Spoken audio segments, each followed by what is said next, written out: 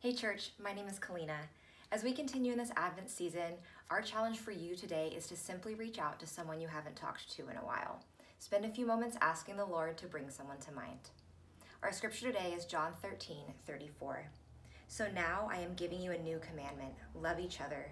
Just as I have loved you, you should love each other. Merry Christmas.